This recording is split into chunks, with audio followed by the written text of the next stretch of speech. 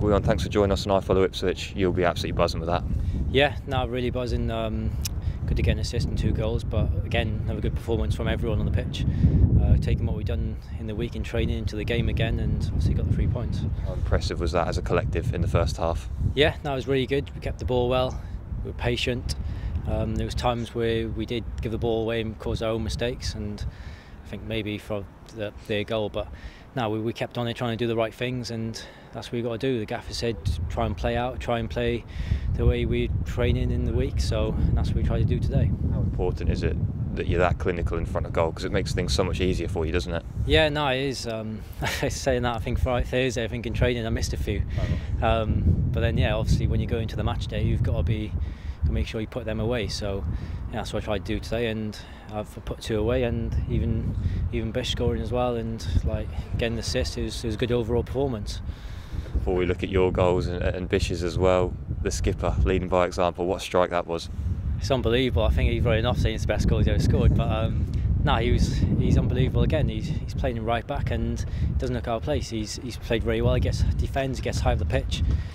And the ball the ball to me, like, I have to watch it back, but it, it looked unbelievable to find me and pick me out from that position. But um, no, he's he's got him back post again, and he's. Uh, the, I think you you can say the volley's unbelievable. It's in the top corner, isn't it? But yeah, nah, it's everyone everyone done well again, and we've got to take on to the next game. Giving Chambo some credit for for a wonderful pass on your second goal, but your touch, mate, unreal. Yeah, no, um, as I just said, I can't. In the moment, you don't really think about it. It's just I seen him looking to try and ping the diag, and obviously made the run for him. But for him to pick it out like that, the, the ball's perfect, and then obviously my touch sets me up to, to score the goal. If I have a bad touch, then he probably comes back and gets it. So it sets me up nice to put it away.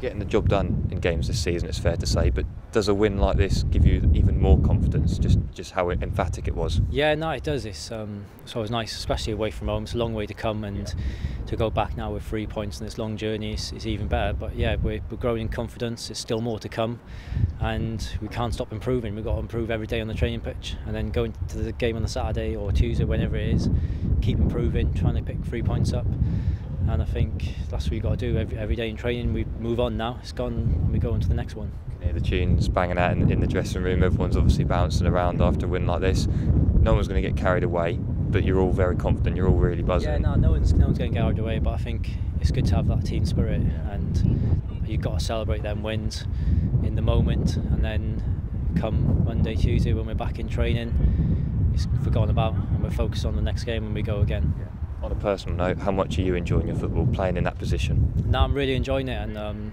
if I'm on the right, and I think first I've swapped over to the left a few times, and obviously got my chance to start on the left since pre-season, and no, I think obviously it's the other lads who've picked me out. We work on phases of play in the week, and and today come off, and I think the goals come from phases of play we do in the week, and we put into the Saturday, and I get my goals, get rewards from it. No one cares if we're top of the league now. We all want to be top of the league or, or up there in May but looking at that, only unbeaten team in the league as well, got to feel your confidence. Yeah, no, like I said, we've got don't want to get ahead of ourselves, but we are confident. We're going to grow again in confidence and keep improving.